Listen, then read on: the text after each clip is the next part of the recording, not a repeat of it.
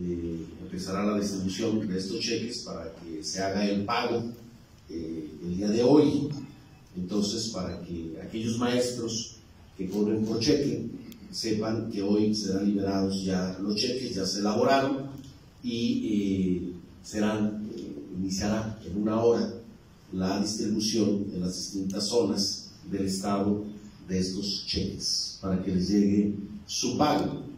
Cuando toman la Secretaría de Educación Pública, que son las mismas expresiones sindicales rojas, azules, del color que sea, que toman la Secretaría, normalmente procuran tomar la Secretaría dos, tres días antes de la quincena para, pues, este, precisamente, generar una problemática para la emisión de los cheques y luego quejarse de que no se pagan. Aquí debo ser muy explícito.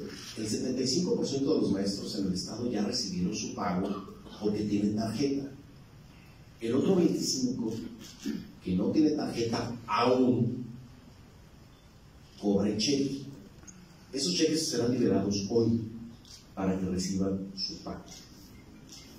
Vuelvo a hacer el llamado para que obtengan su tarjeta de nómina en cualquier banco que ellos elijan.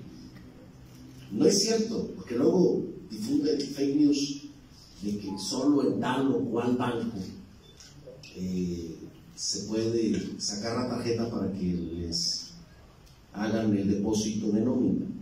En cualquier banco eh, pueden ellos, Banco del Bienestar, cualquier banco,